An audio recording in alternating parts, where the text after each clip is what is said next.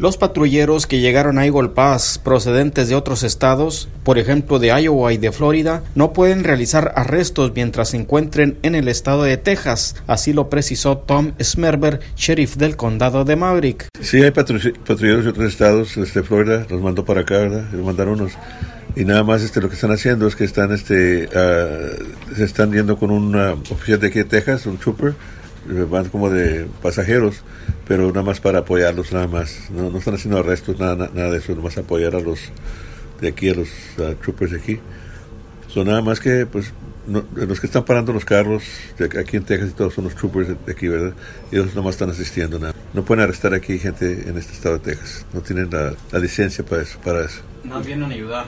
Vienen a ayudar nomás a asistir, asistir. a los a los patrulleros de aquí de, de Texas. Este, la vez pasada estuvieron unos dos, tres meses, me, me, lo imagino que también, nada más, este, y luego se van.